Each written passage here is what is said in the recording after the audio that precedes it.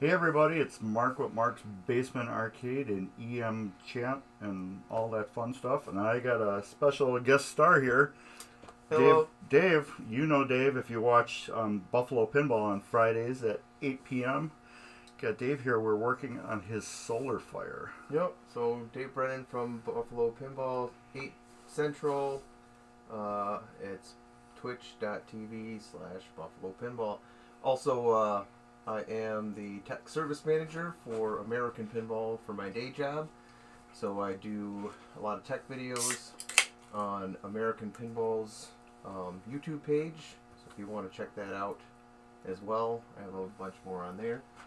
Um, so last we left off on Solar Fire, I popped out the MPU and driver boards, and that video is now up on um, for the for the board repair. That is now up on Mark's Basement Arcade YouTube Yeah. page. Yep. Um, where I go through all of the the steps for bulletproofing the boards, going through Vid's guide, um, so detailing that. Uh, there is a piece on there that um, I didn't go through because it's not on the boards. It's on uh, the for the re- uh, the bridge rectifiers on the bottom right here, which I just put in. So essentially, um, it's just adding an inline fuse.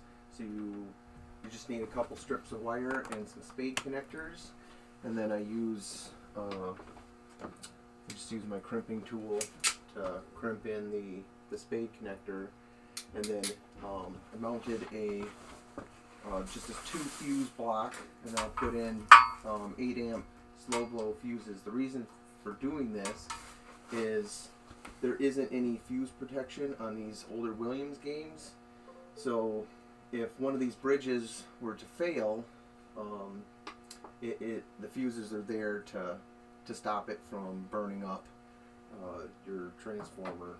So um, anyway, I forgot to bring my label maker, but I'll put a label on the side of the cabinet here too. There we go. So anybody that sees this game on the inside of the back box, they'll know that that's what that's supposed to be. Um, the other thing that I needed to fix, which I did prior to the stream here, is this connector. Um, if you recall from the last one, it had a couple of, um, I don't know where I tossed the wires now, but it had a, a couple of just jumper wires that were soldered directly onto the board. And the reason that the person did that is likely they didn't have the proper tools, which would be your crimping tool and then the, the crimp pins for your Molex connectors. Um, and so people just get by with what they know, and they, um, you know, Yeah, my, my Hurricane board had the exact same thing. Every GI was soldered right directly to the board. right. And so you know you see that all the time. Uh, they just use some wire that they had from their previous home, you know, home improvement project, and they use some uh, plumber's solder or Yeah. something. they, Yep. You know, I'll fix this. Yeah. so, So doing knowing they're actually doing more harm to their board than doing good. yeah. So, um, and so basically now I just have to marry up the two boards with this 40 pin interconnect. So I'm going to set this on the table real quick just to push this on. So Okay. it'll just take a second. Gonna it up. There we go. Yeah, that's like the thing that freaked me out the most about doing that. Um, uh, Lucky um, Seven was Mhm. Smashing those two back together because you get the brand new contacts and it's just such a tight fit. Right, and that's how it should be. And I'm like, this is just so tight. I feel like I'm gonna crack the board and break a trace or something like that. Yeah. But yeah, I understand. It needs to be that tight to do its job forever. Right, get that good connection. And so there, there's also this little shelf Yeah. that this thing sits on. So I'm lining it up on the shelf. So this MPU, the edge of the card, the MPU, it, it sits on that shelf in between the two. And so that that way it takes the strain off of this connector. If you don't get on that shelf, it's just going to be hanging and constantly putting pressure on those pins and then eventually it'll crack the pins or the solder joints and then you'll you'll Yep. have problems so um, Yeah, you don't want any more problems. so from here I'll just grab a screwdriver and I'm gonna put these so uh, where where the screws attached that's the ground plane of the of the boards and that's why you're you have to attach it otherwise you won't have a good ground connection for all of it Yeah, I had that with um the sorcerer. I did that. William First- Sorcerer. the sound Yeah, but how it was going round, round, round, round in attract mode. mm-hmm. I'm like, I told the guy, I said, if I can fix it, I'll fix it. I don't know exactly what I need to do to fix it. And when I got into the head, it, it had like two screws holding the boards on. Mm-hmm. So I just replaced every single screw that, that was missing and tightened them all down. Turned on the machine and it was quiet, just not a sound it made. nice So it was just just think of all all that grounding issues you have because of only a couple screws. I understand, you know, okay, I dropped a screw, you know, Mhm. but go back and put the screw back in. You know, find it or go to this hardware store and get another screw. These boards need to be fully grounded like that. Right.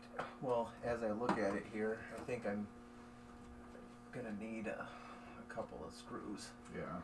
but But this game was quiet though. I Remember, it was it, it freaked me out. It was so quiet. It didn't make any noise. It was very silent. sorry if I'm in the way of the camera here, Nope. You gotta get that. So if anybody just this has just joined, um, it's me, Mark, and I'm here with Dave, and we're working on his solar fire. We were gonna um, start another project today, uh, uh, EM I have that will be at MGC, but we wanted to get this done quick, and then it just took a little bit longer than we, what we were planning. So I'm like, why don't we just finish this on the stream, and if we got time, then we will go to the EM that I have that we'll be working on. yeah. So these, I'm just putting the connectors back on right now, and um, I did take pictures prior to, which is always a good practice. But um, the connectors have keys, so like a little plug um, in the connector that will make it so uh, that lines up. I don't really need to reference the pictures unless I ran into a problem. Yeah, these are these are pretty easy. They're because they basically lay right where they need to go. Right. It isn't like that the hurricane I had where I had to take a picture of everyone because there's connectors that are there, but there's spots on the boards that you don't use because it's a generic driver board that is used on a ton of Williams games. Mm-hmm. You don't want to plug a connector into something you're, that isn't supposed to be used. Right. Exactly. Okay. That one's, that connector almost looks like it should go up one. That one, yeah. This one? No, the one you just did. This one, yeah. Yeah, so that was one thing I noted last time. So they have uh, all Williams driver boards are nine pin connectors. I know that Yeah. from ex- experience.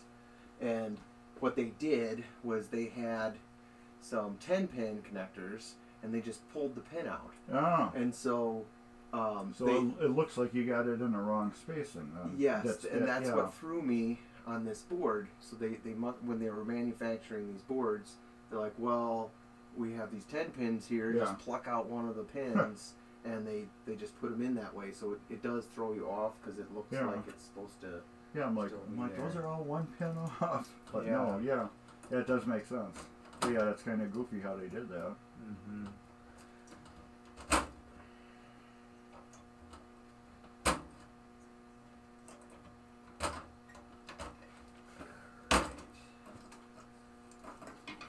Nobody's chatting today.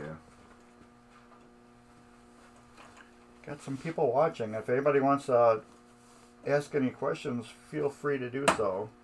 I don't know, is there a football game on today or something? I don't know. I am not a football watcher. Neither am I. I used to be years ago, but I never really got into it. My friends used to watch all the time, so when I go hang out with them, I'd watch. But not so much anymore.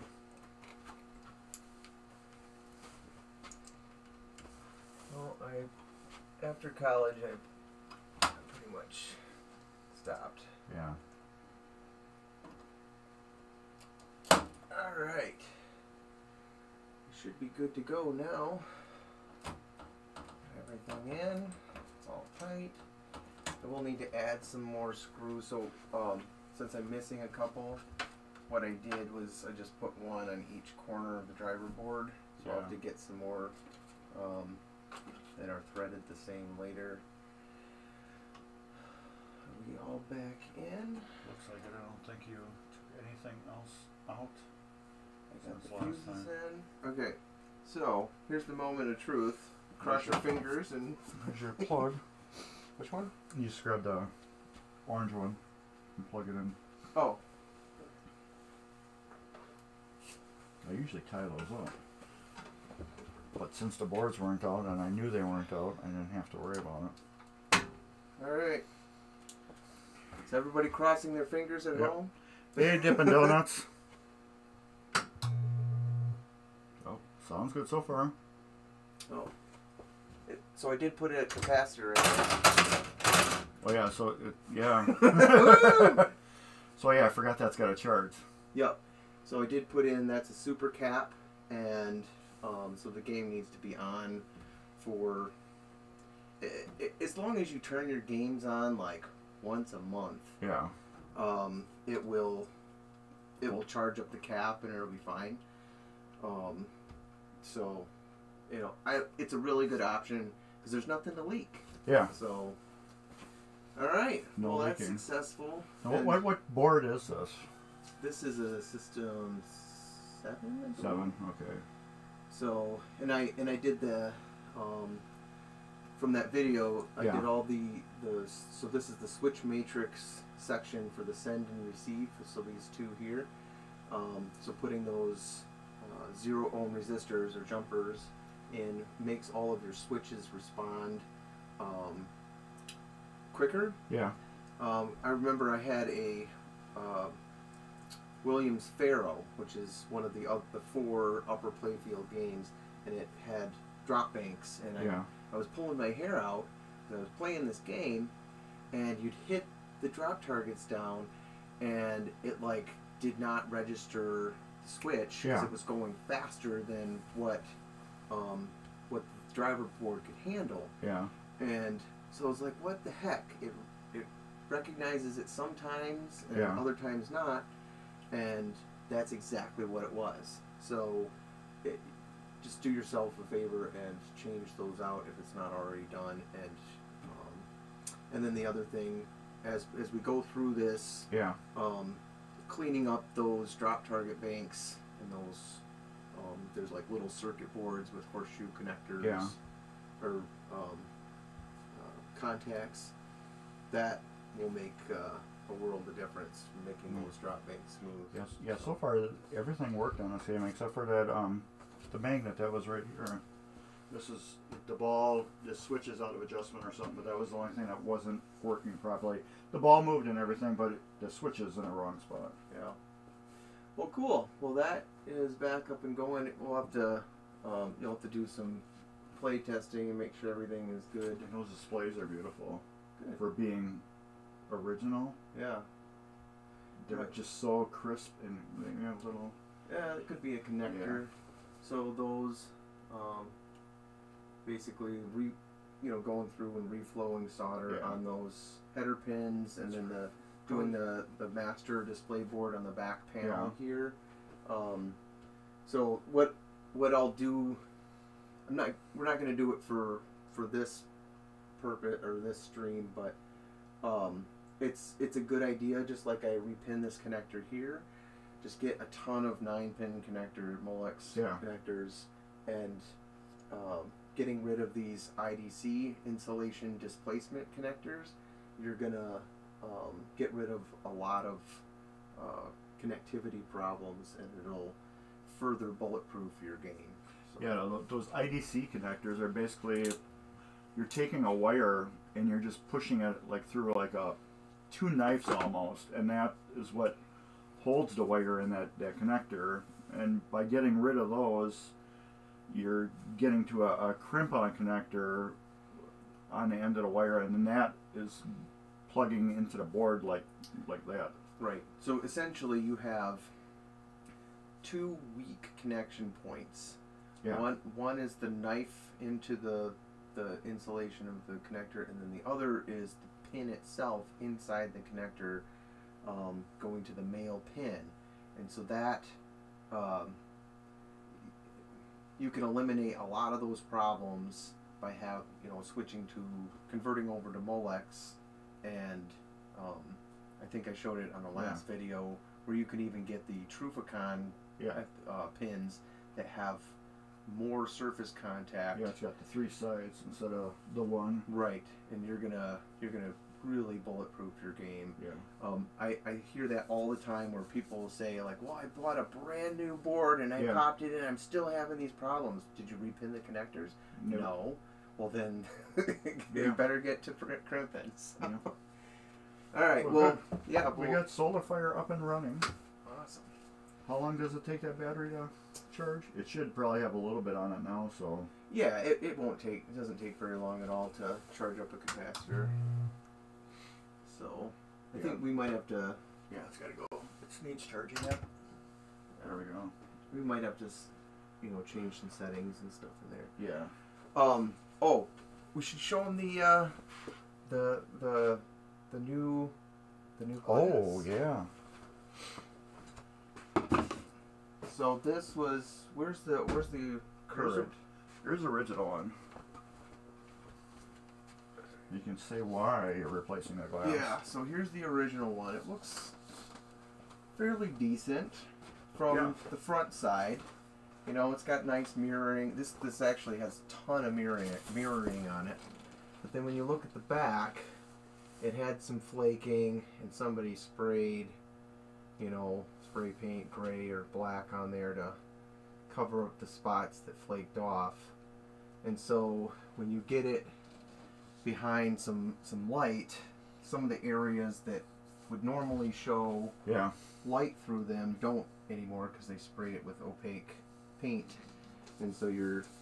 This is basically a, a wall hanger. I mean, it's Yeah. it's okay for what it was. It's sad though, because that's a beautiful glass. Right. It's just the art on it and everything is just so awesome on it.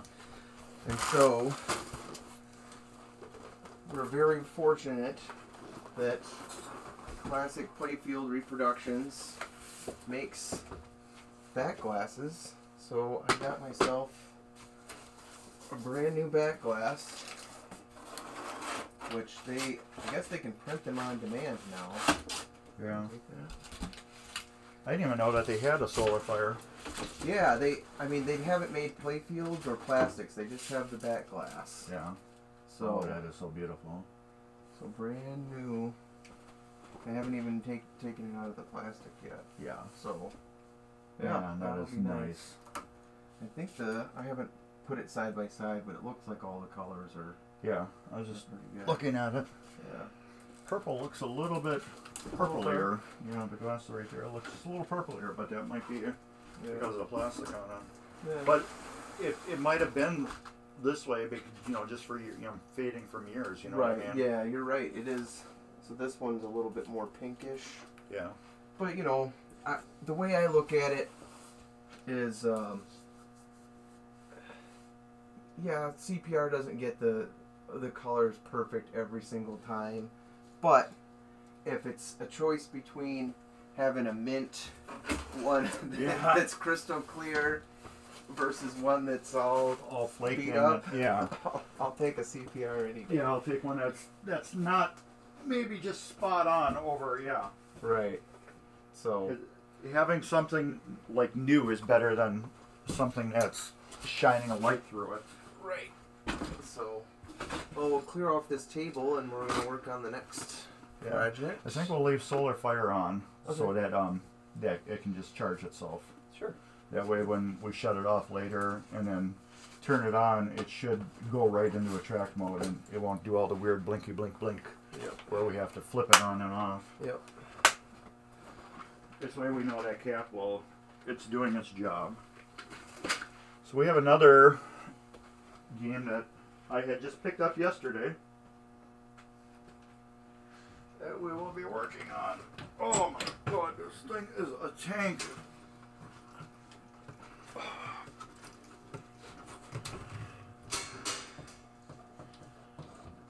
Yeah, you can see that. That just, you don't even get the game. You get over because they painted it. Yeah. You can see it blinking behind it. Yeah, that's true. Yep. They just it's just got over going on it. So get this over here. I'm gonna actually flip this camera off and go back to the monitor, the computer cam. Okay. Because otherwise people might get seasick with this one. Yeah. And we will have to. Oh, I don't know how we're gonna do this because I can't unplug it either. You need?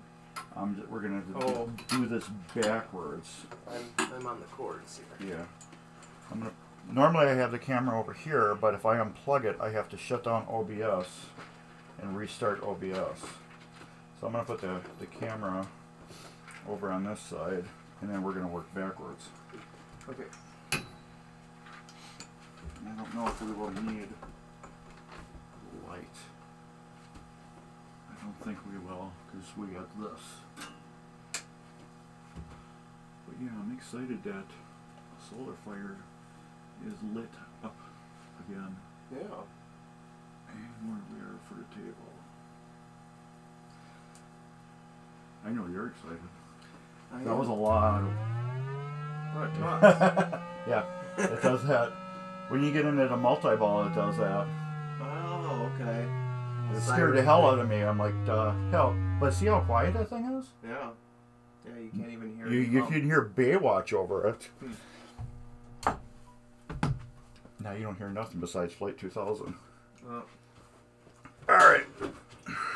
I need to get to my blanket.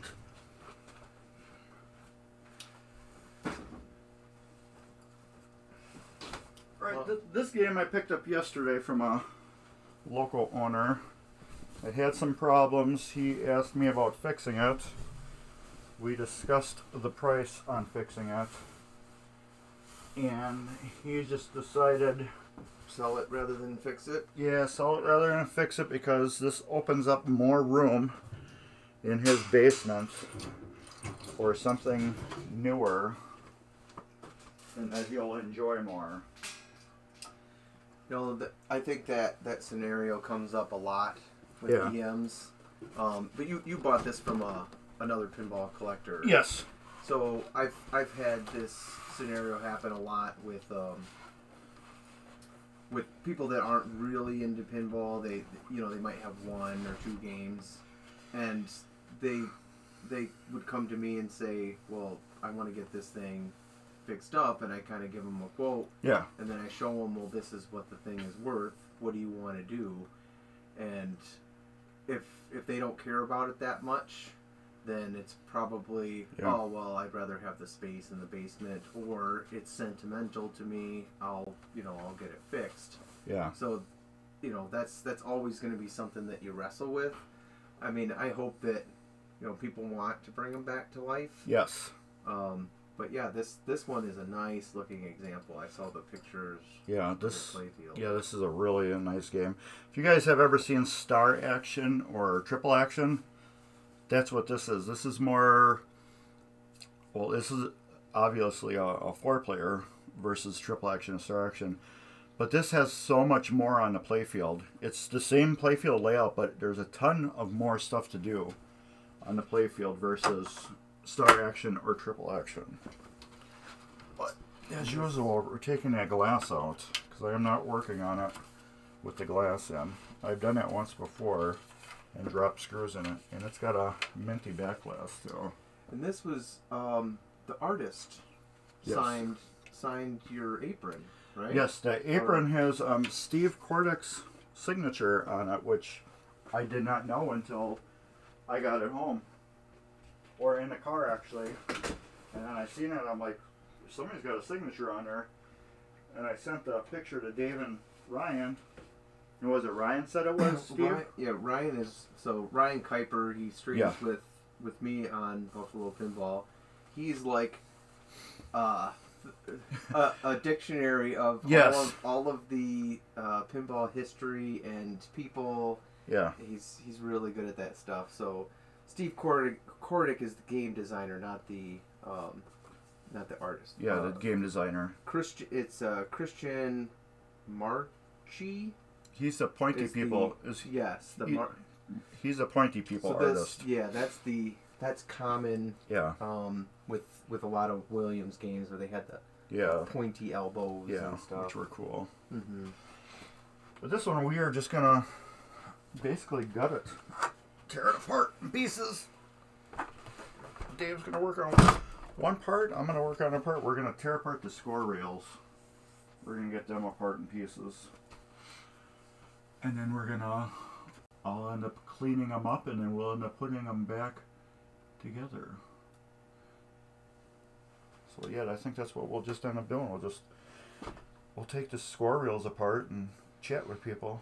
Are you gonna do just one bank at a time? Kind No, of we'll thing? do we'll do them all. Tear them all completely apart. I'll have to move this so you got room to. Yeah. Yeah, that's that's what I usually do. I just tear them all completely apart. There we go.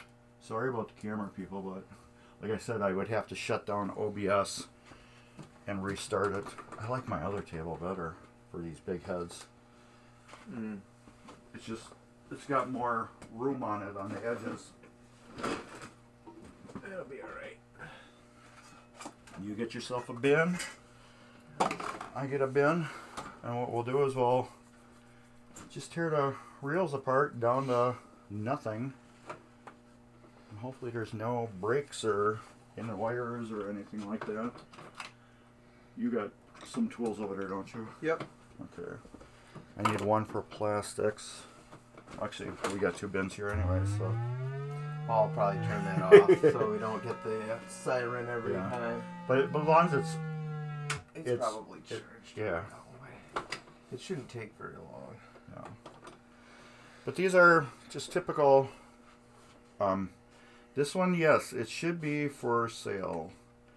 Why is that screen froze? That's the your Twitch. It could be. Yes, this one probably will be for sale. It's either my Twitch or. Are you guys froze or are we still there? You just have to refresh. That's what I'm trying to. Hmm. 'Cause this is on Wi Fi. Yeah, we're froze. No, we're not. Oh. So it was mine. Yes, this one may be for sale. I don't know. Oh, look at this. Look at this caked on grease. Ah. Wow. Oh, let me um change the camera. we will do two cameras, so you can still kind of see us. Yeah. Where's the grease? Oh, you- Oh, uh, at the I have to move that down. down. I forgot. Um, my thing takes a little bit of the screen away. This is this is like extreme grease Right there. on the. Uh, so this is the. Ugh. Look at that. So that's not gonna have very good contact. No. yeah, there's a good glop on there. I wonder what. Where that they just got sloppy with. Yeah, Like- there's grease on there too. Yeah, that's what it was. This is like a finger smudge, so somebody Yeah. got sloppy with applying. So It happens. I see these things all the time, and people just they tear them apart and they do their little. I'm gonna follow your lead in how far you want me to break these down. Oh, we're breaking them down. we're breaking them down all the way. That's the only way I can get a, reliable rebuild on them. I like I like the way that you rebuild score reels. I I haven't I've seen. taken them down as far as you do. Yeah. Like what I'll typically do is kind of do a surface clean and um you know clean up the the reel itself. Yeah. Um, you know, if it was super dirty, I, I could take this the um, the reel off, but I don't typically. Yeah. Just throw. Just put all the. We'll put all the metal in, in one, Oh, okay. and then we'll put all the plastic in other. Because other plastic, except for the reels, all the plastic parts for this will go in an ultrasonic cleaner, and the reels I'll end up hand polishing. And those will get all done by. Yeah, you can see It's just nice and dirty. So those will get all clean. Yeah, my laptop froze. It wasn't Twitch, it was my laptop. My laptop is on Wi Fi. My computer is hardwired, so my laptop, it probably was doing a, a factory update and it decided to freeze. So these. And you put all these in the ultrasonic cleaner. Yep. What uh, what size do you have? Do you know? I have that little Harbor Freight one. Where do you want these at? Um, I'll just start throwing them over here. Where? Over here. Oh, okay. Actually, yeah, it's kind of small. I should have boxes. I got boxes everywhere. I'll just, yeah, we'll just stack them over there, I guess. Maybe we'll just do this. Yeah, I got that um little Harbor Freight one, and um I just use that for everything. You ever taken these off too? Do you want a little screwdriver? I think I got one. Little jeweler one. Yeah. Taking these clips off, putting that and all the plastic. We'll go in there. Okay. Mm, yeah, I was just able to do it.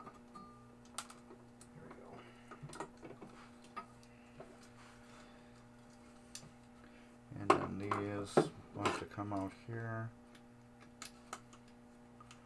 See, I would I would take pictures of all of this stuff. But you've probably done it enough times. I've done it enough where I don't have to anymore.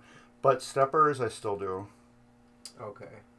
because they sometimes they just confuse me because I've done so many different ones. Mm-hmm.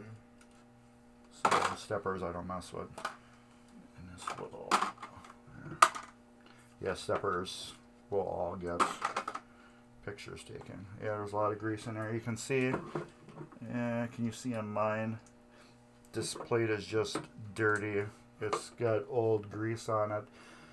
Now there, there should be a little bit of grease on here, but this is just old grease. Right, and it's not probably not synthetic, so No. it it cakes up. it cakes up and then it just causes issues with um scoring or resetting.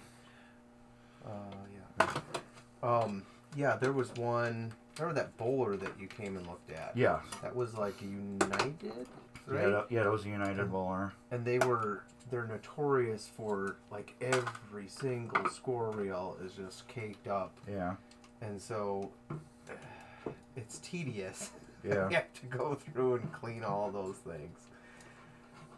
But once you redo it and you put in, um, you know, the more modern synthetic, yeah.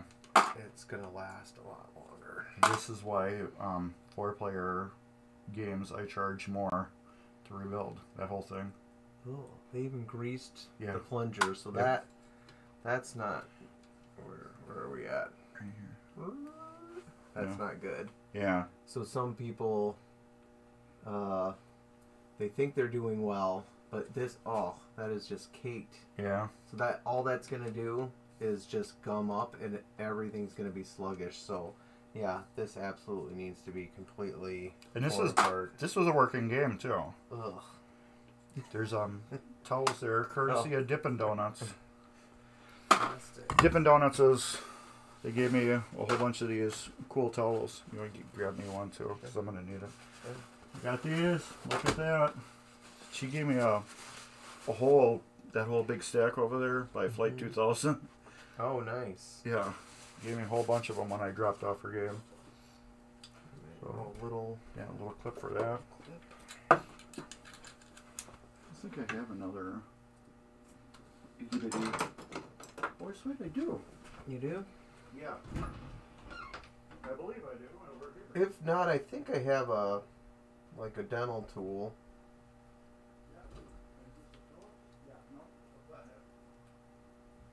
Yeah, I forgot I had this one over here. I keep it over there in case I get into any weird stuff. So you can use this this baby one too. Thanks. So yeah, when I dropped off her lucky seven, they gave me a big gift of a bunch of towels. Yep, that's This perfect. is fast as far as we're going, right? Yeah, that's as far as we're going. And, And then, then- when, when I go later on, I'll go around through all the coils, pull them apart. Now, do you have itty bitty um, coil sleeves Yep. too? Yeah. Okay, because like,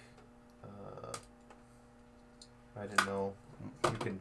I mean, you can cut them just fine, I guess. Yeah, I, um. But that would take a while. Oh. Oh.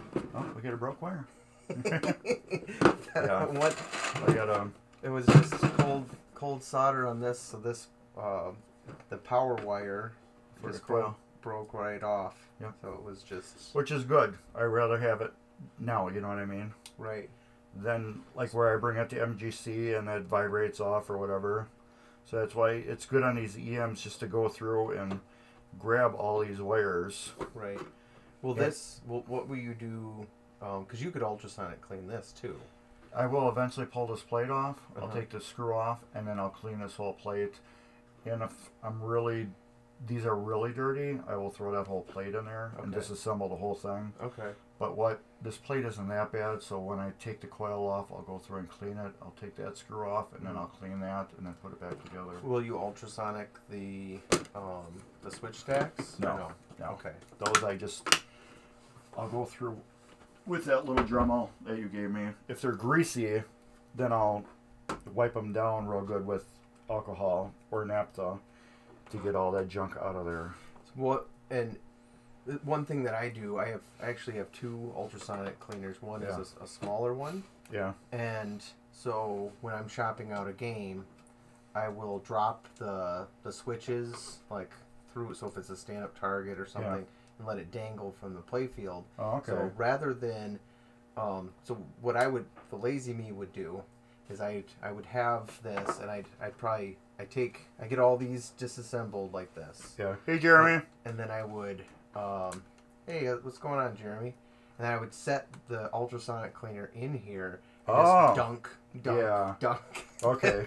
So that um, it's kind of a nice little tool. So when I when I was shopping out the the Swords of Fury the Yeah. last game, um, I would have the playfield up, and then I would take the ultrasonic cleaner and I just go, okay. and you know, because it, it's kind of it's it's not that big. You know, it's enough to put uh, a few switches in and You're like gonna, a coil or something. have to send me a picture of that because that that sounds interesting. If I can just take this. And they're cheap. They're Yeah. cheap. I mean, it, it's like a probably a, I don't know, a quarter or two. Yeah, because once I take all these out, this whole thing will be loose enough where I can actually bend it up and drop it into a cleaner. Yeah, and I, I think the it what it will, as you know, it'll it'll probably Yes. take off your labels. Yeah. I have tossed in.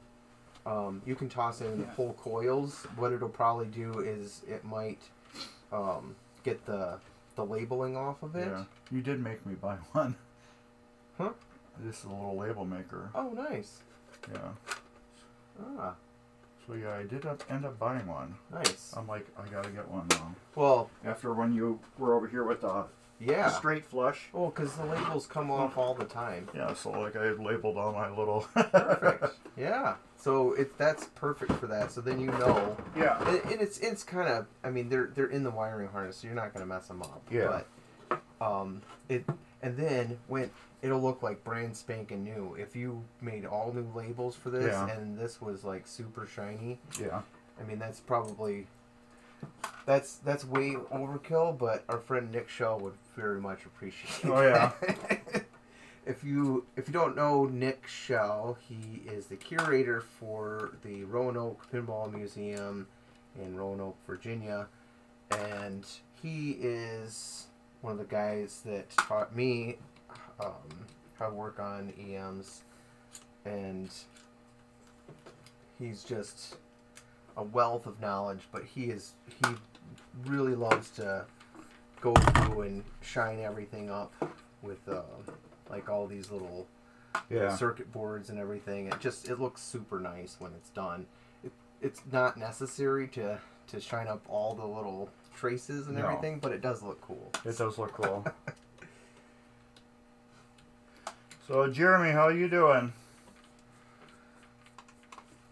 And I've I've been watching a lot more of Jeremy's streams lately. He's I know Jeremy's streams are very inform in- informational, informative. Yeah. I'm bad with big words. I'm really bad with big words. No, informative is right. Yeah. He's uh My wife's probably going like, "Oh my god." you said a big word again.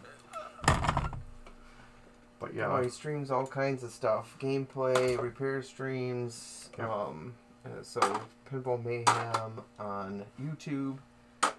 Um, he's got lots and lots of Yep. good resources there. yeah, him and Ed. Yeah, that's right. Ed's. The, I always tell everybody Ed is the guy that works on machines that takes quarters. So whatever it is that takes quarters, Ed works on that machine. But Jeremy does a lot of different stuff too. He fixed my cuckoo clock, my wife's um cuckoo clock. He Oh. re, he rebuilt that for yeah, her. he was telling me about that. Yeah, it's still working today. That's awesome. She's the the only issue that we're having with the clock is somebody doesn't um pull the chains on it every day to rewind it. Mm. But that's about it. That's the only issue we have with the clock is it's just keeping it winded. Mm. But yeah, it, it cuckoos again. It plays its music. That's awesome. Yeah. My parents had one of those growing up. Wonder what happened to that thing. Yeah. Yeah, no problem, Jeremy. Appreciate it anytime. Like I, I, I've told people before, Jeremy is like one of the very first people that I met in um, the pinball world, and I started chatting with him um, because I found out he's in Wisconsin. I'm like, oh, another pinball guy in Wisconsin, and he does. He's on YouTube, so I'm gonna see what I can learn from this guy. And Jeremy helped me out a lot with um, getting into YouTube myself, with um, this um, making videos and stuff. So I always will thank Jeremy for um, helping me with that, and I appreciate it. And I also did get to meet him eventually later that year or the year after at MGC. Nice. See, I'm, I'm, uh, I'm a little bit, I guess, privileged Yeah. in that way because my my sister lives up by Jeremy. Okay. so I visit Stevens Point Yeah. fairly often. I was up there for New Year's this uh, a few weeks back. Yeah. So I did go over to Ed Ed um uh, Ed Owen's Yeah. house and just got to play his ball bowler for the first time. I know you want one now. Oh, so awesome! They're so much fun. Yeah. That I there's I mean there's not I mean I I have a puck bowler Yeah. and it's and it's fun. Uh, and it, it works in the space that I have, and I, you know, I'm lucky to have that. But Oops. but once you play a ball bowler and it's got the the gutters and everything, Yeah. it's just and it you know he's got like a 20 foot one. Yeah. It's just so much fun. You get like I think it's a six player, so you get six people around this thing just having beers and stuff and and chat and like everybody understands bowling. But Yeah. To have that in your house is just amazing. So I that's it's like another life goal I have to set. Yeah. So I'm, now I'm thinking like, what do I need to do to like, maybe I can knock a hole in the basement wall and dig a tunnel. Yeah. Well, got that crawl space area. Oh, right. So like, what am I gonna do with Yeah. that? So yeah, uh, Dent 0123. Um, this is the only way to um, properly clean a EM and get through it and do everything. You need to tear all these mechs apart into little pieces and and clean them like this. like I said, this game was working. It had a little couple hiccups, I think, with the bonus or something like that. But otherwise, it was working. But you can see how dirty it was, and it, it was gonna fail eventually. Something was gonna eventually just stop working on it, and I can't take a machine like this. And I'm not a flipper, uh, a pinball flipper. A flipper is just where you take a machine, they Wipe it down. wipe it down, wax it, put new rubbers on. If there's a bulb burned, burned out, put a new bulb in it. It works, and then sell it. Mm-hmm. I I don't do that. I have to go through every single thing, degrease. As you can see, my hands right now they're just nasty. Like I said, this machine was working, but I need to take everything apart like that and clean it. It's that's the only way I can. I feel good about like you buying a machine for me and then knowing that this machine is going to work for you for you know 10 15 years with zero issues Well, I think the, um, which is probably a turn off to people getting into into pinball as a hobby. Um, you know, EMs can be intimidating, and Yeah. I think just because of that, um, I, I guess the one thing I learned from Nick at uh, Nick Shell was that um, it's it's it can be um, like a Zen type of activity. You know, Yes. if if you can just you know, it's all rinse and repeat. yes So these are all the exact same score reels. So, as Mark said, he's done this several times. He knows where all the pieces go. That's Yeah. why he's not taking any pictures. But once you know how one of them goes together and how it's supposed to work, it's rinse and repeat. yeah So then it can be a Zen type thing where you're you're taking it apart, you're cleaning stuff. Yeah, it's going to take some time, but at the end of the day, when you have a squeaky clean game that is perfectly working, Yep. like that is you know that's something that you're going to be proud of in your collection. it's interesting player the, the always the, the, the highest score reel the the 10000 reel is always like squeaky clean compared to the 10 reel. The 10 reel is just always super nasty and um, the 10000 reel is always usually really clean. As you can see on this one it's not that dirty but if you've seen my um, videos on cleaning them here's my link. Check it out. Um, i'm actually having a 1000 subscriber giveaway right now. So go to mark's basement arcade subscribe. Look for the 1000 subscriber video. Watch it do what it says and you got a chance at winning some stuff if you are in the continental united states. I'm sorry i can't ship overseas. It's just too much money and patience in dealing with that stuff. Yeah, it is. it's just too much. I, I send stuff overseas uh, more than occasionally. And I feel bad if, Yeah. you live in Australia and you're into pinball.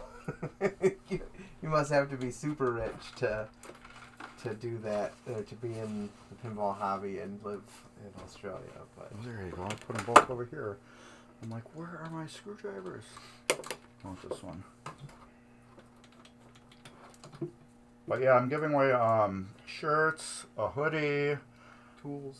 Tools. Uh, I have a EM scorekeeper that Oh, is- that's cool. that is being donated to me. Wasn't there a guy in Minnesota that Yes, did that, right? Tan Man. He's actually. Um, if you go to my YouTube channel and go look at my the channels link, you'll see awesome channels. Go down there. Dave's got on there too. Um, go on there and look for. Um, I think it's Tanner Walters, and go to his um, YouTube channel. Subscribe too. Subscribe to Dave's and everybody that's on there. Those are all my awesome channels and you can see how that EM scorekeeper works. As you know, with an EM, you cannot keep a high score, but this is a little digital display that's you know like about this big, and it goes where your um, scorecard goes, and it uses extra leaf switches you put on your flippers, so you can actually program uh, your high score into it, and it will save it. It, when you shut the machine off and turn it back on, your high score will still be on it. Is there like a battery or something? No, it's um, it's it's like the, the RAM or Oh, or like whatever. an NVRAM. Yeah, something like that. Cool. And I just lost the clip down. I there. remember seeing that a while back, and and I, I think it's cool to, um, you know, it, wasn't super expensive. No, it's Um, it's like a hundred bucks, I think. right. But then I started to think, well, you know, because early solid state games are that way too. Yeah. Where you just you see a number, but there's no name by it. Just has initials too. Yeah. So that that's the advantage to it, and Yeah. so if you, and it, it's it's universal. Yeah. Right. So if you um, say you were done with the game, uh, kind of like Color DMD or something, Yeah. you could, eat, and it just goes into the where the scorecard is. Yeah. So instead of having the scorecard that says, uh, you know, uh, 50, 50 cents per play or something, you'd have like a little cutout thing Yeah. there. And then you're, um, if you ended up selling that game, you can just take the thing out and move it over to the next one. Yep. Yeah. It doesn't matter what game you put it in. Yep. That's pretty cool. I So- should invest in one of those. Yeah. Well, you'll have a good game to put it into. Yeah. You have a real nice game. You gotta dig that out yet too. I gotta dig out the back glass. I got. I don't keep the back glass in them. Hmm. I keep them. There's a right behind Hurricane over here. There's a little like cabinet door. I put all my glass in there because I never go in there, so the glass should never get broke. Nice. Yeah, I'm afraid of keeping them in the heads back over there. If somebody bumped it or um, something, you know, I'm gonna flip out because glass is not cheap, as you know. Mm-hmm. Yeah, you're looking at about three hundred bucks for a new back glass, typically. Yeah. And if CPR doesn't have it, or what's the other one? G- Shea. Shea and then BG Resto. Uh, yep. I was that's the other one I was gonna say. BG. Oh, then there's what? May Mayfair Amusement. They don't make glasses, but Mayfair Amusements has a bunch. Yeah. Um, I thought there was one other one that was making reproductions. They're like from um, the same hardtop people, right? Okay. Oh yeah, I can't Outside think of. Edge. Yeah. Yeah, that's it. They they because they were doing mirror uh, mirrored back glasses. So I think the um,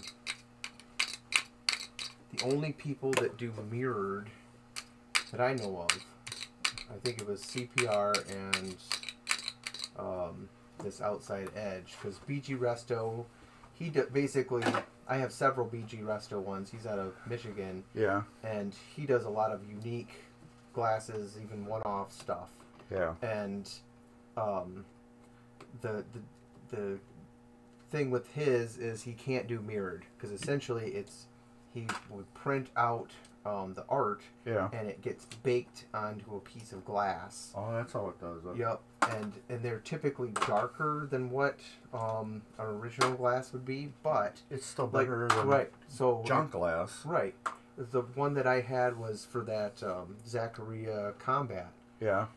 and no one he didn't have it before the only reason that it's on his website now is because i sent it to him and w- in the process of sending it to him it Yeah. broke Ah. but thank god i sealed it before i sent it to him Yeah. because when it broke it didn't break into a million pieces it It's- broke into it- some It to, just. to a puzzle piece and he was able to put it back and scan it Yeah. and get a scan out of it and i thought that was just amazing Yeah. so So the um, the stuff I use to to clean, this is all gonna eventually go. You can see how nasty it is. This will go into ultrasonic cleaner. Um, Jeremy, are, are you still here? I, I can't remember exactly what I use in uh, ultrasonic cleaner, but if Jeremy is still here, um, I took his recipe that he uses. Um, let me Yeah. go get it. I'll show you. Well, I know what what I use. I use um, Purple Power, which you can get at any Walmart. It's a multi-purpose cleaner and approximately 50-50. Yeah, Purple Power, same thing. I use the Simple Green Green HD. It's probably the same oh, thing. yep, yep. So yeah, basically the same. Yeah, Purple Power, Simple Green, same thing. And it's um, that that works really well for um, getting like all the crud and everything off, and and it's it's dirt cheap. I mean, Yeah. you're you're you're getting yes, same thing for carburetors. I've done. I've Yeah. used the ultrasonic cleaner for. Um, I was in. I'm still kind of into motorcycles. I was bigger Yeah. into it, but yeah, you you can take an entire carburetor and chuck it in there, and it it they come out like squeaky clean. Yep. It's crazy. Here's a show I watch on YouTube called. His name is Mustie1, and he's always throwing um, just whole carburetors right in uh, ultra. He's got a giant ultrasonic cleaner though, Oh yeah. and he'll just throw the whole carburetor right in there. He'll take all the jets out and everything, and just throw the body in there, and That's got to take forever to heat up. yeah. But he uses um, that you you ever see that like one gallon can of carburetor cleaner with the basket? Yes. Yeah, that's what he uses in his. Hmm. I wouldn't want to use that on pinball parts, but Hmm. carburetors, yes. But he's got a, a giant cleaner, and it's just full of that. Wow. So yeah, I use Jeremy's recipes, which is um, you can use. I use that simple the, um, the simple green HD, or you can use Purple Power. I use one gallon. I, I put twenty ounces of um, cleaner in a one gallon milk container, minus the milk, and then I fill it up with water, and that's what I use. And I just put that in my um, ultrasonic cleaner. The reason why I went with 20 ounces is because it was the easiest thing to measure at the time Mm. And they, they come out perfect. But you need all this stuff clean. And then one thing about it too is my hands are filthy right now, and if I went and cleaned like all these reels, now I'm putting them back together with dirty hands, so all the reels are just gonna be all dirty again. Mm -hmm. I, I do that all the time. Yeah. I get to um, like putting on. Uh, I usually go with uh, white white rubber rings for Yeah. for games, and if I'm I'm typically like cleaning metal parts and things. Yep. Like as I go. I go and touch these things like damn it. Yep. I get it all over them, and then you have to use like alcohol or whatever Yep. to wipe it off. But that's a good trick though, using alcohol to wipe off your white Rubber. rubbers. hmm There's another thing that I've seen before. It was called Wildcat. Yeah, I've heard of Wildcat before too. It it kind of smells like diesel fuel, Ugh.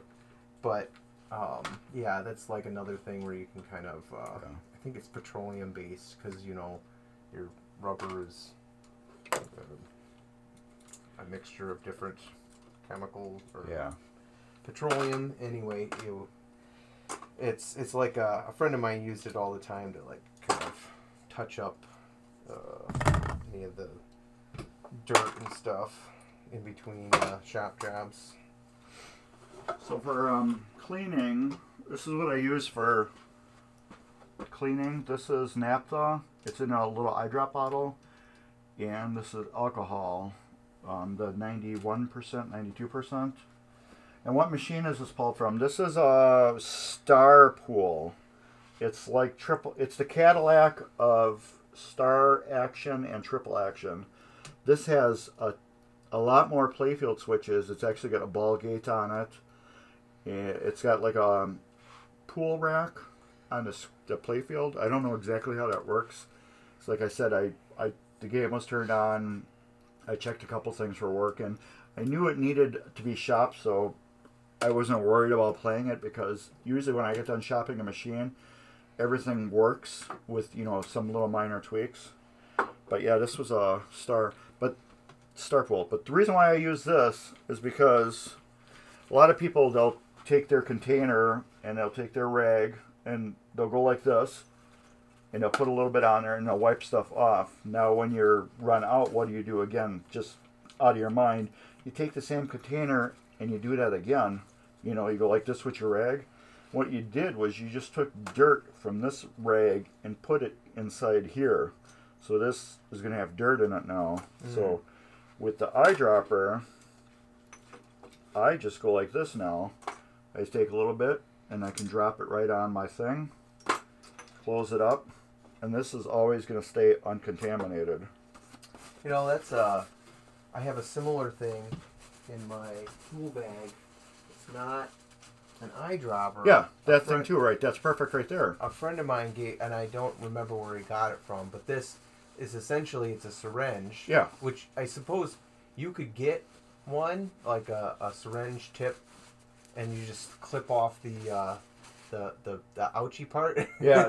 the, the And just and this is just flat. Yeah. So I'm, and then it, this is a little, just a little squirt bottle yeah, same principle. with, with alcohol in it. Yeah, because you're never gonna contaminate anything. Right, and I, I like this because I can control how much gets Yeah. gets uh, put out, and then I can, like I talked about earlier, because I don't typically um, take it apart this far. Yeah. Like if it's something where I'm just trying to clean things up, I'll take a little bit of the alcohol and put it where I need to, and then just use uh, you know Q-tip and kind of clean it up that way. So, um, nice little thing to keep in your toolbox.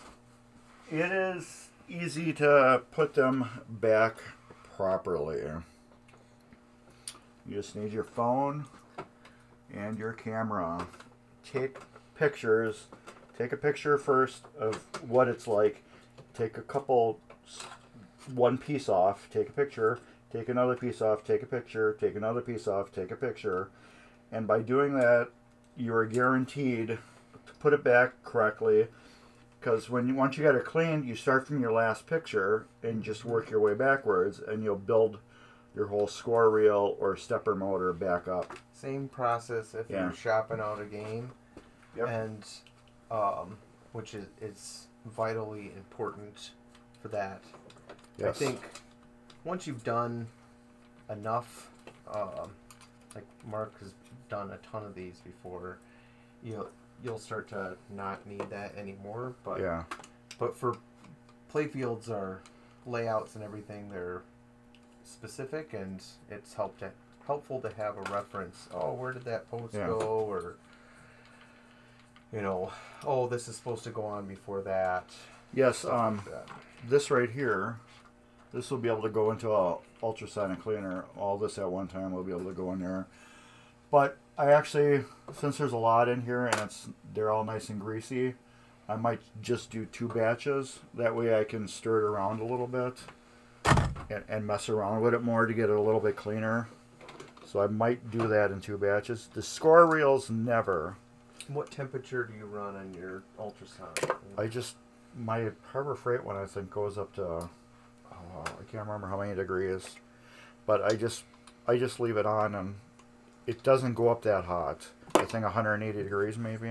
Okay. For mine, mine's uh, metric, so it's in Celsius. But for Yeah. reference, I typically run at about 45 C, 45 or 50 C. Yeah. Um, and that seems to work well for me getting, you know, the crud off, and I Yeah, don't have it- to scrub. Yeah, it doesn't need to be that hot. It just you get it warm and it just it helps flow the dirt off better. But usually I put it on heat and it automatic it, there's no like heat setting on it. It just heat is on or off. Oh, okay. and it gets up to a certain temperature and it just shut it shuts the heat off. Mhm. But by the time I'm done cleaning, it's not even fully all the way through the heating fully cycle. You can stick your hand in there when it's not turned on, and you won't burn your hand. But it's warm. So, yeah, I don't. well, mine, mine gets hot. Yeah, Yeah. I'll have, to, I'll have to do the conversion, but like if you, um, so what I do, like mine has a basket, but they're like kind of bigger holes, so like Yeah. the screws Yeah, well- would fall through. So I have like a double mesh strainer yeah, that like for cooking, and so I'll put little stuff like that in that strainer, and then I'll put it in the in the ultrasonic that way. yeah. I got a little um rice basket actually. It's for um oh, I can't remember what it's for, but I I do that once in a while. Let me get that actually, so people can see it. Yeah, I think the having something like that, it's just um, because you you really don't want to try to fish in there when it's super hot. Um, eh, hopefully, the thing that you dropped is a ferrous metal, and you can you still be able to put a magnet in there and get the little screw out. But otherwise, you just gotta wait till it cools off. And oh, there you go. Yeah, you can put all your screws on this thing. This is really super fine screen. Yeah, yeah. So essentially, that's Mine's probably not as fine as that, but yeah, Yeah. it's like a. The screen that's on here is it, it's like four times smaller than like your screen window. Yeah. It's so yeah, you can you can take your screws and just dump them right on here. But another trick too is if you get like a baby food jar or something like that, Oh. you yeah. can you can put some ultrasonic fluid inside that baby food jar and put all your screws in it and just let that sit bobbling in that ultrasonic fluid Oh. and then that Ma- will mason jar. yeah it will it will transfer right through the container Mm-hmm. so you That's can do that tip. too Good tip. Everybody's got a mason jar sitting around. yeah exactly or like a pyrex something anything like that and it will it will do the job and i was surprised this worked too these things i've been finding The match. Yeah, they're um. Once that little gear's gone, your match system is gone. Mm-hmm. And sometimes they have that connected to, or maybe I'm thinking of something else. But yeah, that thing is sluggish. Yeah. Um, what was it? I had, I was working on a pro football for a guy, Yeah. and it had a match unit like that. And I remember I had to call Nick because I was, um, I was racking my brain on this thing, and like because it has two different scoring features on this. Yeah. uh, it's a football themed, and so you get what is it six points for a touchdown, right? Yeah. and I would get to a certain point, and it would get stuck, and it would just go ding ding ding ding ding ding ding ding ding ding Oh, ding yeah, ding ding famous ding. noise. Yep, and it just kept doing that over and over again, and I just could not figure out what the heck was going on, and he knew exactly what it was Yeah. because I like hit a couple of things. We just did like a FaceTime deal, and um, I was like, "Oh yeah, that's you know, it's you gotta."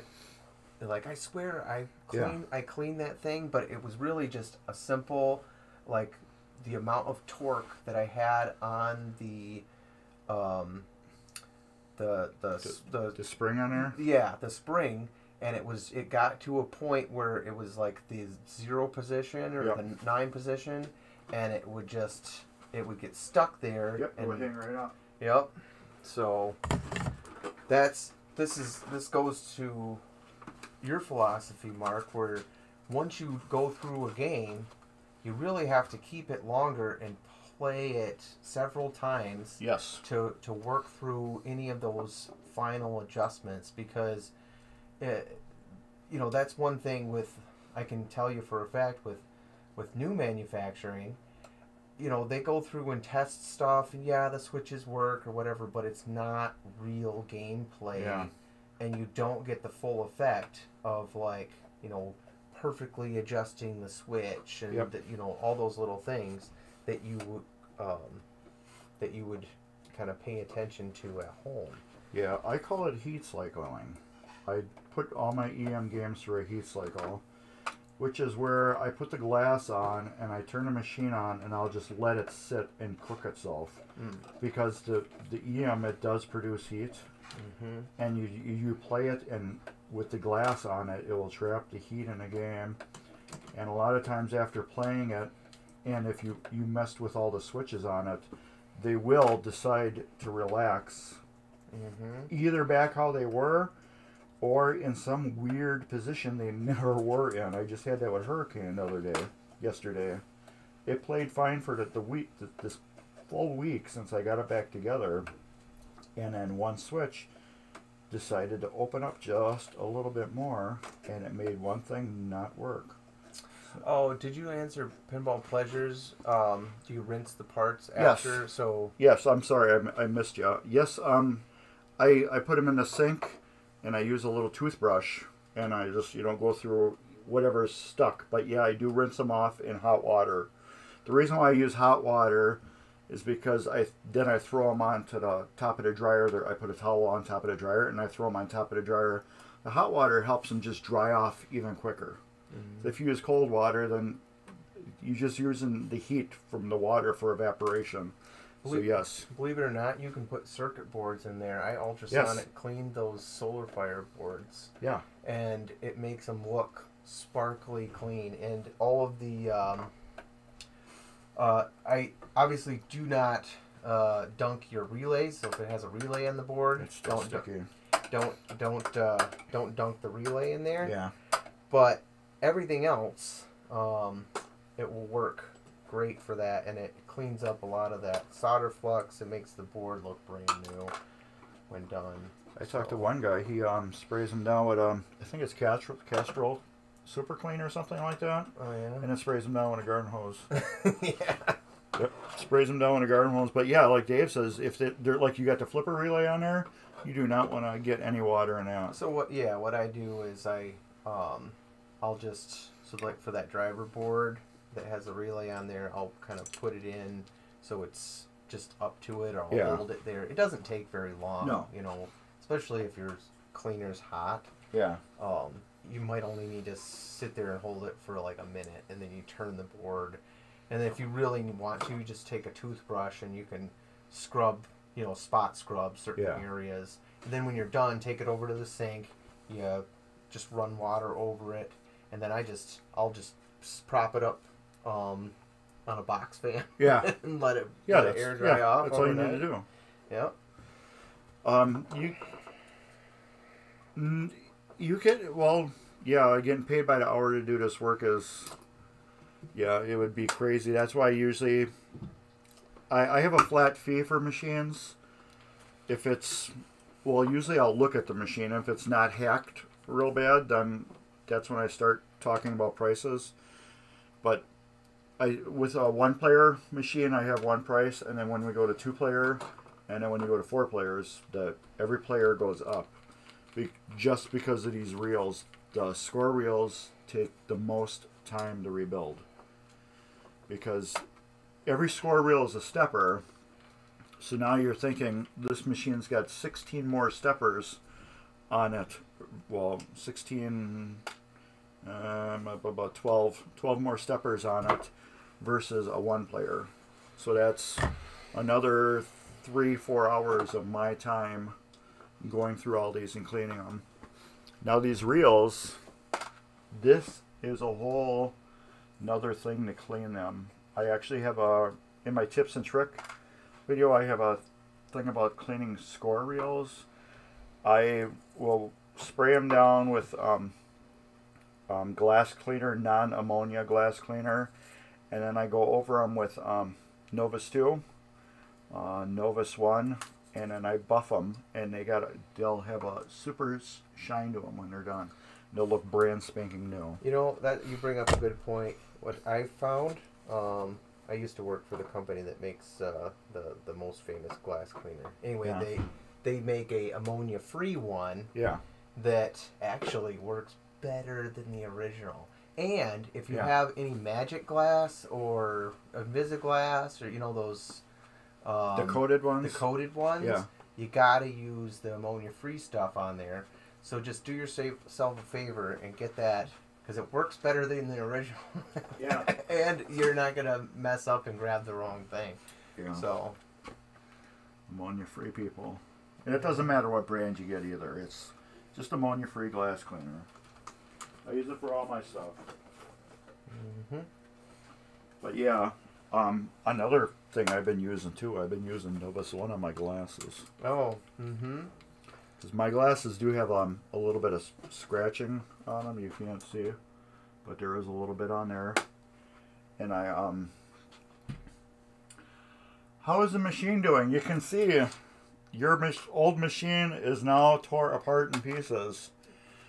Um, it like I, I was telling everybody, this machine was fully working except for we had well you had a, the bonus issue with it or whatever, but all the the score reels, you know, they're they're dirty and everything, but it was working. And I was telling people, even though this machine is working, with the amount of dirt that's on the score reels and all the the plastic pieces, as you can see right here, all these score reels. Some of them got traces of oil on them. Oh yeah, this one the the ten Dirt. the ten that Yeah. I just did, it was just caked. Even the, Yeah. the coil plungers, Yeah. they were real bad. Like even though I said this game was working, it would have failed eventually with the amount, you know, of just dirt, Oil in there. oil and dirt that's just been accumulated for the years.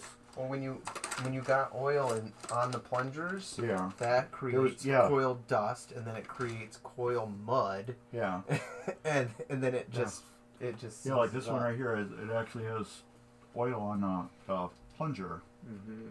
So that's just been going in and out, and over the years, this might have not failed for another two or three years yet.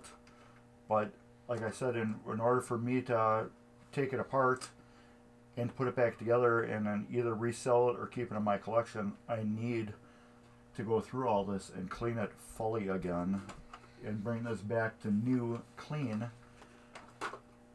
In or this way, this game is going to last uh, 10, 15 years flawless with no issues.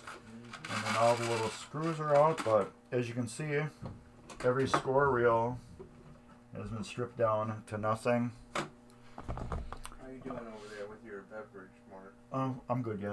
Okay. I got uh, two containers of score reels. But yeah, everything like I said when I when I picked it up from you, it all looked beautiful. It all looks great.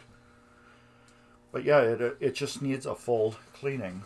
I like I said, I, I can't I can't sell a game like this. I'm not a flipper. I'm a uh, I'm a refurbisher.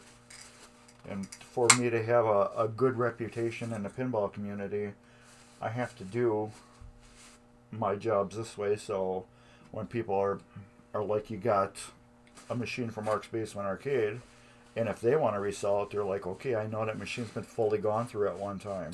Well, and if, if you do, I mean, if you're selling like a a project, you just Yeah. disclose that Yeah. hey, it's, it, it hasn't gotten the MBA treatment over here. So. Yeah. Well, yeah, just yeah. Dave just got a project for me today, and he knows I haven't touched the machine one little bit. I Oh. besides bringing it home. Look at this guy right here. Oh yeah. Uh, got some solder splatter on Yeah. the wire. Hopefully that's not a, a Yeah. fix. As you can see right here, yeah, this has solder splatter in the wire. This, I did a Gulf stream for the Garcade in Menomonee Falls, and he was having intermittent issues with a bunch of stuff, and then he told me to come pick up the game, do my thing, and there was solder splatter all over the wires, Mhm. all over everything. Ugh. And when I broke it loose, there there was like solder here and here, so I, I was wondering if it soaked into the wires enough, where Oh. both of these wires Yeah, were eventually braided. yeah were eventually touching. Mm-hmm.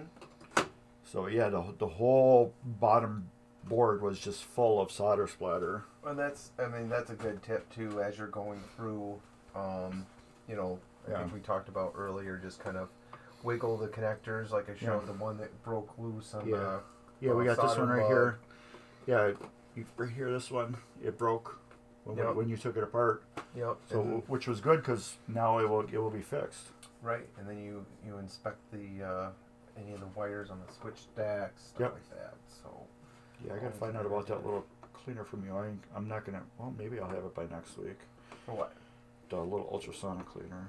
Oh, Mine is small enough probably to bring in here and put on. Yeah, well, no, I'd have to take this out. well, if you want to borrow mine and see how it works. I don't, I don't have. I'd have to come over tonight and pick it up Oh. because I wanna. I wanna get the score reels assembled next week. Mm. I gotta work on that too. Hmm. That one I just got the all the what do you call it built. And I did a little bit on that. That's why you can see all the wiring hanging out of there. Mm. I got one problem with one switch on it. I was trying to diagnose, but I have to put it together to finish diagnosing it. Oh, yeah. Mark's pointing to the um, Wildfire. Wildfire. Yeah, I got um in solenoid test everything fires, but then one slingshot will not switch if you hit the switches. Oh, I know what that is. It's a diode on your driver board. Diode on the driver board. Mm-hmm. I had that same problem with Stargazer, the the, the one that I sold, Yeah, and uh, the guy was coming to pick it up in like Yeah. the next week, yeah, and uh, I was like, it worked. It worked a couple of times, and then it would just stop. Yeah. I was like, what is going on with this thing? yeah, And I just did a little bit of googling around. It like the like the coil works, the Yeah. switch works. It's it's doing what it's supposed to do. And why is this thing So there was just a, it was just a diode on the driver board, Yeah, that's all it was. and that, that's the same Yeah, so you that. find you find the transistor that drives the the, The- solenoid for yeah. the for the slingshot, and I uh, just do a diode test. Um, Yeah. Black lead on the banded side, red on the non-banded side. Yeah. You should get numbers. You flip the two, and then you should get be- no numbers. right. And um, If you get numbers both ways, then you. yep, then Yeah. it's shorted. That's what was with Flight 2000. It was Oh. a di- one diode, or it was either the diode or the cap, Mm-hmm. because it, it was constantly doing the ball search in up in uh, the lock up there. One just kept firing, it, Mhm. so it wouldn't let the machine get into the last loop. So what's next on this? What's next on it? It's probably gonna be next week, Okay. because we're at 320 right now. Okay. If I tear apart any more, Well, yeah. So Yeah. really, it's it's we got far today. 'cause this is what I would have just did in the normal two hours I did, but we got your solar fire fired back up and running. yeah. So Well, good. not not fully playing because We'll have to play it after Yeah. after the stream and make sure it's all working. oh yeah But on, on this, I think um, it would be cool to try the the ultrasonic dip. Yeah set it since you have it flat on the table here. Yeah. It's a good. I mean, you if your ultrasonic is small enough, you really Yeah. could kind of set it there, and then Yeah, you could my- like it's like this big. yeah. So uh, the one I have would fit perfectly in this little spot, Yeah and then you could just go dunk. yeah. dunk if you wanted to do that. But Yeah. uh, I'm probably gonna have to lay this underneath the switches and then squirt them down to get them clean with a little toothbrush. But yeah, I gotta take the coils apart and everything. but I mean, doing um, doing an individual um, is I mean, because you you still are gonna have to take this off um, and get put a new sleeve in Yeah. anyway. Yeah. So you know, is it gonna save you that much more time? I mean, it'll break down the grease and Yeah. stuff, but you know. So yeah, Wind Raider, yeah, it.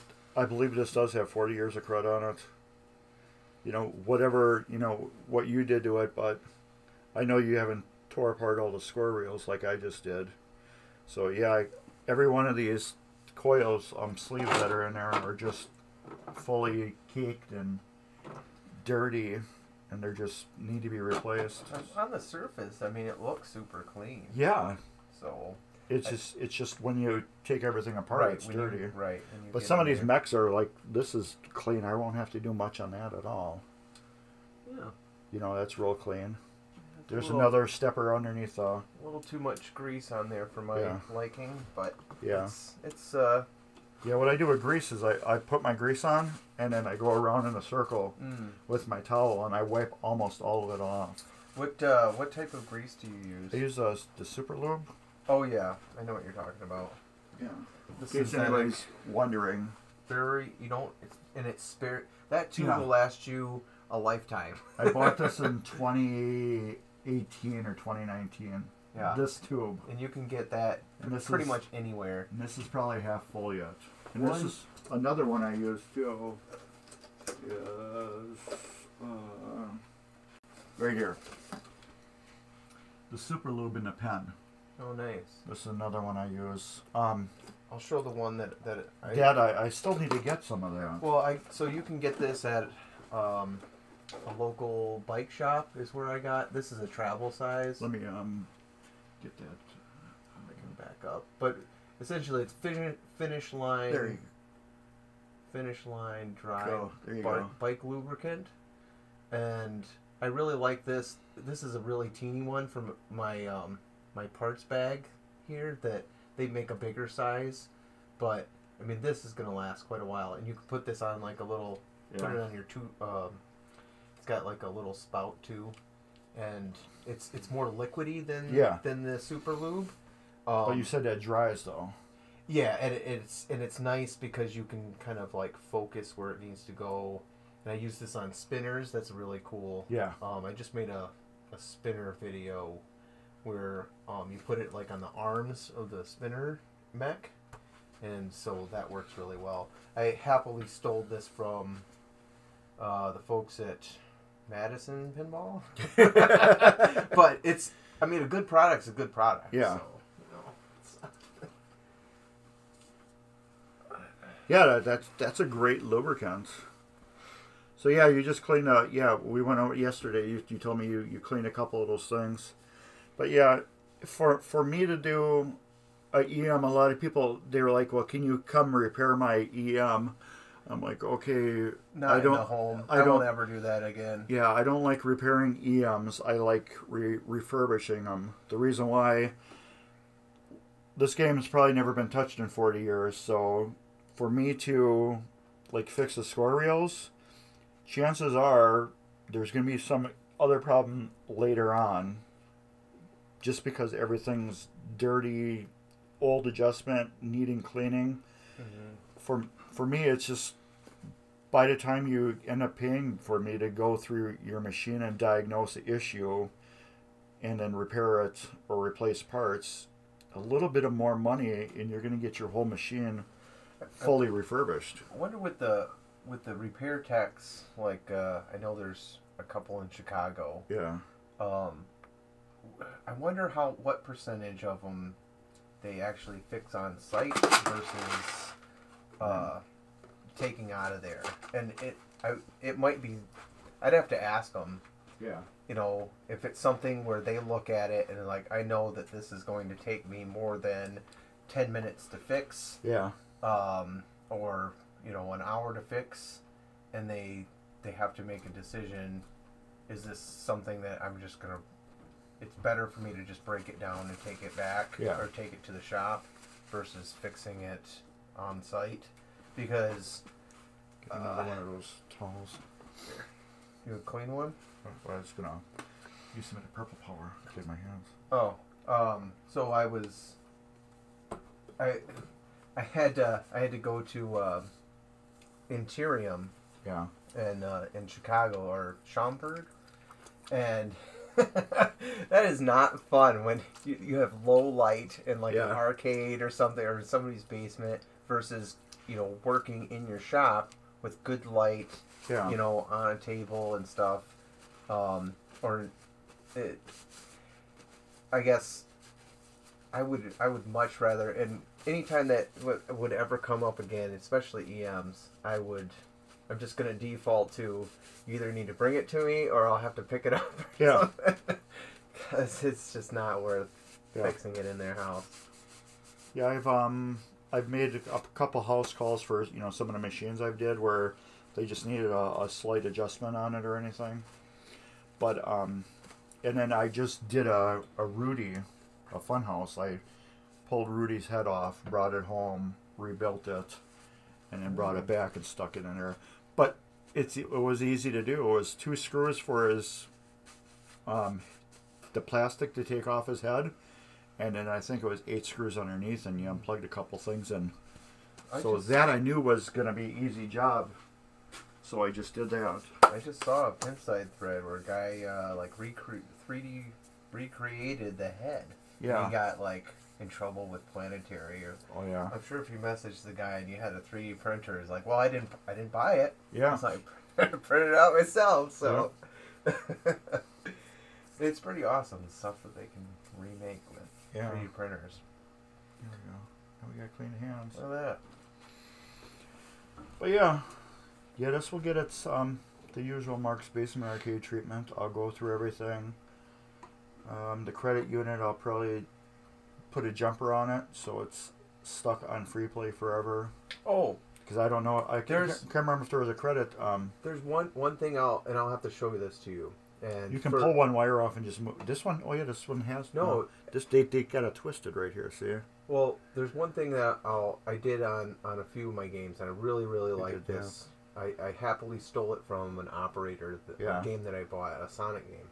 Anyway, what they did was they just took um, a connector, a Molex connector, Yeah. and they just took a um, four little pieces of wire, and instead of like permanently bridging it, Yeah. you just do a Molex plug, and so plugged in, and I put a label around it, free Yeah. play. Yeah. You don't want it free play, you unplug it, Mm. and so that's a really nice feature where um, instead of it being permanent. Yeah. You know, like so I want this to be on location or I want it to take quarters. Yeah.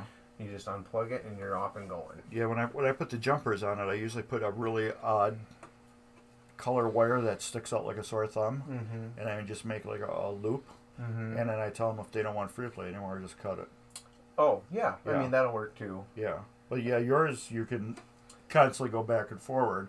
Once you cut mine, you're putting another jumper on it again. Right. Right. Yeah. So it's it takes a little bit more, um, but I I mean Yeah. I, I liked the Yeah. as soon as I saw that I thought oh that is a super clean look. And, Oh yeah, Um, so I, I've been doing that on, on a lot of EMs now. yeah. Most people that I I have, they just want it. Um, what do you call Always it? free play. Yeah. Yeah. Well, it's One, but one, I, one guy did want it left on quarters. He's like, nope, they're putting quarters in it. some people do. I, Yeah. Ed at uh, uh, Yeah, he's Pinball he, Mayhem, yeah, he's got tokens. he he converted like all of his games in his game room, and he has specific uh, tokens for his, they're custom made for his game room. And I thought that was super cool. I mean, he's got a token machine and Yeah. everything, and um, real really fun like layout. I loved. Yes, I did see the, the clear Rudy eyes. There's what they got several different versions. I think they're gonna do of the the Rudy eyes. Um, yes, I, I have seen pictures of that EM. I don't know where it was, but it's a it's a fully clear cabinet and everything. You can see all the steppers and you can see all the Oh. relays. So that was a guy in Texas did that. Yeah, Um, and he's actually done. So I actually bought wiring harnesses for my Stargazer from him. yeah, Um, and I think I shared the back box um, light panel with him as well. yeah. So if there's if somebody has a back box light panel, that originally came from me for Hmm. Stargazer. Um, anyway, so uh, it's uh, Third Coast Pinball is the name of the the uh, the company that that did that, Yeah, and they do fantastic work with wiring harnesses and um, but yeah, absolutely check them out if you're restoring a early Bally or Stern. They have some some cool products there. Is that uh, is that about it? yeah. It's probably So I think uh, can I plug Buffalo real quick? Sure. Yeah, Um, yeah. You so can plug you can- plug all your stuff. Yeah. uh, so Fridays at eight central, um, you can find me and Ryan Kuiper on Buffalo Pinball um, Twitch channel, and uh, this Friday, hopefully, this will be my first. Uh, so the dynamic duo has always been Ryan's like the the host, yeah, and I'm like the tech guy. Yeah. and so um, I have I have a lot of games in my collection, and so um, it, we t- sort of teamed up, and so it's we stream at my house a lot of times, and so I make sure that the games are all working, but I I haven't really been a host or taken the reins of Yeah. the, the Twitch piece, and so um, I got things set up, so hopefully. Uh, if if everything works hooked up, we're gonna do a test on that, and um, I I should be hosting my first uh, stream of that. So No have- Ryan. no, he's he's got some family thing Yeah. going on, and um, but it's okay. I need to. Yeah, he need needs to take a break once in a while. Yeah. Yeah. He hasn't taken a break in a while. I know. And I, I think, uh, and I have three new games Yeah. to go. I just finished Swords of Fury. I just finished uh, Scratch Built Stargazer. So Yeah. that's brand. It's a brand new game. No serial numbers, nothing on it. Yeah. And then I have um, Pinball Brothers Alien. So all three of those need to get streamed. Um, and then, um, well, uh, I think I'll probably stream uh, or, or record uh, Yeah. another game from the project file. So, yeah. Uh, so Buffalo, and then uh, I also do a lot of um, YouTube videos for American Pinball, which is my day job. I'm the tech service manager for American. So if you were to call the service line for that, I'm the guy that picks up the phone and I'm the one that answers the emails. So if you if you have an American game and you need some help, I'm the person that you would call. Um, that's pretty much it. Yeah. So, um, Midwest Gaming Classic, April 29th through May 1st. Be there. I'll be there. Dave's probably be I'll be there. Yeah. Um, I can't believe it's coming around. It's like it just we- it, it just happened. well, we're going back to the regular schedule now. oh yeah, So it, it's it that- is one of wanted- my favorite shows. they It's- wanted to get that in as soon as they could, so they did it right away. And now we're going back to our schedule. So after this one, you got to wait a whole another year, unless they do game nights. I need to ask Dan if they're going to do game nights again, Yeah. which which was kind of cool. Game nights was a very intimate little Midwest gaming classic. It didn't have all the in Brookfield, right? yeah the Brookfield Sheraton. If you ever been to Brookfield Sheraton, That was the original, Yeah. the OG location. except it was in just one banquet room. Everything was in one banquet room, and then they had a Oh. couple little things outside. I miss so there was the like Sheraton. there was like only hundred people there. I miss the. Sh- I think I want to try to go to that. That uh, it was like a lock-in. Yeah, it was a lock, and that that's that what scared a lot of people because they were like, I don't want to be locked in for no, two days. if you. but it, that was just the name. It, Well, you could come and go as much yeah, as you wanted. kid growing up, it's like we had these YMCA lock-ins, right? Yeah. And it was just a fun game night where you you're not. Maybe, Yeah. maybe people got confused, but you're Yeah. not locked in. Yeah. It was you were there and you're all night kind Mhm. of thing. So, I I think that would be fun. It, there's there's that charm. I think was lost a bit when they Yeah. moved from the Sheraton to the um, the The Wisconsin, Center. Yeah, But I will say that MGC is still one of the best shows out there because of the variety. It's not a pinball show. nope. It's a gaming show. That's that's exactly what I say. Everything. Everything. Yes. And so if you're not super into pinball or if you want to explore other things, so for me, I'm I'm super into pinball, so it's Yeah. I'll I'll be in that area for the majority of the time. But when I want to go and sit and play a console game or go check out a board game or whatever, there's everything's there. And it's it's very approachable. That's the other nice thing Yeah. that Wisconsin Center has over the Sheraton, where it's less intimidating to go into the different rooms and check out those um, those different events Yeah. that are going on. Versus, I think at the Sheraton they had like they converted some hotel rooms that were on the ground level floor. It was a little bit intimidating to go in to like whatever the retro thing Yeah, was um, or whatever. Yeah. Um, I've never been to the Sheraton except for game nights, and Okay. that was kind of like my room, just with pinball machines and some console games and a skee ball and a stage, and then outside they had some board slash card game and then some other pinballs. yeah. So it was yeah, it was very s- small, but it was meant to be intimate like that. Well, and I, I just love how um, the the show is truly put on by collectors. It's, It's uh, they're bringing out their their pride and joy, their their showpieces, the things that they are most proud of that they restored in their basements, just like this. Yeah. And they bring it to the show to show off. And I remember that they they used to have. I'm not sure if they still do it, but um, like bring out your rarest game. They do they do awards for Oh yeah, they, they still do the awards. yeah, and you have like the, you know, best homebrew, Yep. best um, classic, DMD, EM, and people vote on them. I think that's really super cool. Yep. So So yeah, you can bring your game there and, and get a cool trophy for it. yeah, I think uh, American won one. Yeah. The best best modern Legends of Valhalla got that. I don't know how. Yeah. It was We a were- great we were- game though. Well, yeah, we've been we were up against uh, Godzilla, Godzilla. Cactus Canyon. Yeah.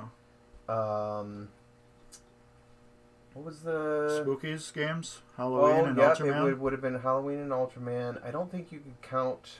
Um, Guns and Roses. Guns and Roses, because that's been out a while. yeah, that's been out. I don't know if it falls Um, in this year's or last year's. Well, it was this year. No, Yeah. no, no, wait. No, that came out like the same time as Hot Wheels, I think. Okay. So it would have been last year. It's been a while. Yeah. Um, trying Just to you think, was there anybody else that was new? What else was new? You got Cactus, Valhalla, Well- Spookies, Godzilla.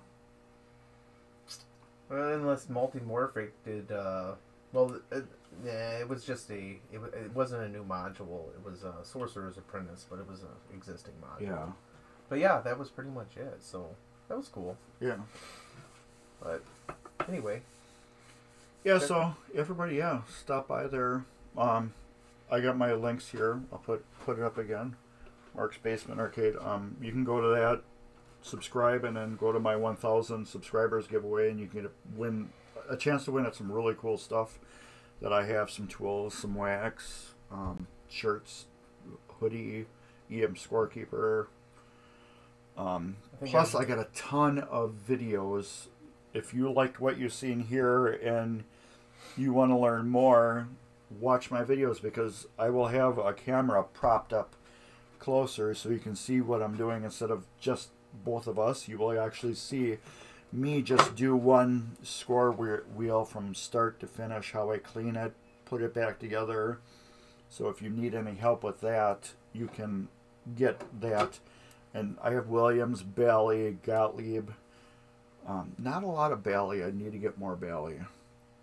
But it will show you how to tear down basically everything step by step and then put it back together and adjust it properly. So check that out. you know, you should talk to that EM scorekeeper guy. I see if you can get like a some kind of deal going for advertising and that because.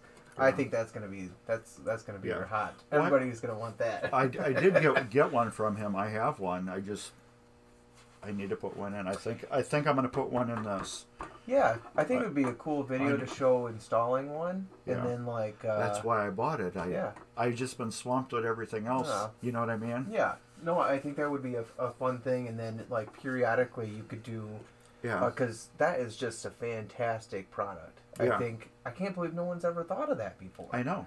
it's fantastic. and it's just it's it's a, a harmless mod the only thing you really need to do is you're if you use the connectors he has you have to they're like scotch locks where you you squeeze them in and they bite into the wires um, to your transformer for the power but if you know how to solder you can just take the wires and just you know solder On right the on the lug. tan- yeah into the lug and you don't have to bite into the wires so if Right. you know how to solder you don't need to it's 100% reversible where it doesn't get into anything but that mod He's is just making it plug and play. yeah he just yeah, for the do-it-yourselfer that doesn't really know If you have an Oh, EM, man. you know how to solder. You Yeah, should. you should, you should, how to yes. yes you should but yet there are a lot of people that That's true. that have them and don't That's true. That's true. and then they that's why I've Well, been so busy because they've That's been why we're me. here. We're yeah here to teach you how to do this stuff. But don't follow soldering instructions from me when you watch me do not do what I do I am not the best solderer Oh, well, I, I did some in the Yeah. on that board work, so Yeah. um, I wouldn't say like I'm I'm the best, but it doesn't it doesn't uh, no with a little bit of practice anybody can do it. Yes, it soldering is a, a, a little art, and once you, the more you do it, I've been I've been getting better and better at it. But I don't want to make a soldering video because it is such a skill like welding that oh, I can show you that too. you, you, you do it right or you, you don't do it right. Well, yeah, I honestly I would I would probably pick uh, uh, if I was gonna show welding, I would probably have referred to an expert or something on Yeah. that because it's not something that I do every day. No, I, I I can weld. I've welded, but I can It's not gonna be yeah. It's no not you pretty. no. A welder's gonna look at that and be like, "Oh my god, what did you do?" Right. I can stick a couple things together, but it's not gonna be pretty. Yeah, it's it's gonna hold. Put it that way. Yeah. it's not gonna be No. that that perfect little stack of nickels or dimes look to it. Yeah. It, it's it's gonna hold. No, for that, I mean, that's it's it's just a difference of a hobby, a hobbyist um, doing it, you know, Yeah. uh, every once in a while, versus you know, if you're really getting into pinball, you you got to learn how to Yes. solder. You got to learn how to crimp connectors. You know, if you're gonna have more than uh, a few games, it's uh, it's Yeah. mandatory. It's- yes, you need to. Oops, I think I, I think my my beer crack went over your, went into the red line there. Oh yeah. Oh I have to turn that down. See how much CPU I use compared to Ryan? I'm at sixty percent, and Ryan's like at four. Yeah, because he has a supercomputer. That- Yeah. So yeah, if I run two computers, I'll we'll we'll be going like this mm-hmm. because I'll be maxed out totally. Well, is that it then? Yeah, that's it. All right. We're gonna kick it. So if anybody's got any last minute questions, I know there's only four of you left out there. If you got anything, please shoot it right now. Otherwise, I'm gonna hit the end stream button, and we will see you next Sunday. We will probably be putting these back together. And, and yes, Jeremy, have a great night. Check out Pinball Mayhem on YouTube. See you, Jeremy. Thanks for hanging with us. Yes, Jeremy. It's always a pleasure chatting with you and watching you do your thing. And Jeremy's other channel, um, Too Many Hobbies. That is a interesting one. That's Jeremy does his other stuff that's not pinball related, all of your personal stuff, and that's that is another enjoyable channel. Right now, he's been doing a lot of um, oh, I forgot that weird game you're playing with uh, you're hauling stuff in through the mountains or whatever. That game is interesting. Awesome. Yeah. All right. Everybody, um, take care, and we will see you next week Sunday. You and I will be putting these score reels back together. Hopefully, I'll have most of them done, but most likely not. SnowRunner, that's it. Um, we will do our thing. We'll probably put some of them together, and then we'll probably go to one of the steppers the head and rebuild that. But anyways, everybody, um, take care, and um, we'll see you later. See ya.